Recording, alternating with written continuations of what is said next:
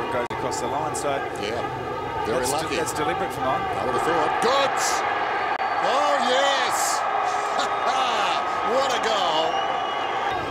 West Coast just can't leave Adam Goodes around the stoppage. He's always a big, been a big target for the Swans around forward stoppages. Still very dangerous and a good snap there. Stood away from Reid, unfortunately for him. Went to Lloyd, kicks inside the forward 50, goes to the back.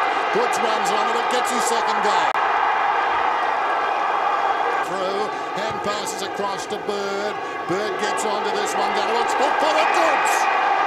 He's building towards a powerful final series and he puts it through. West Coast on their knees.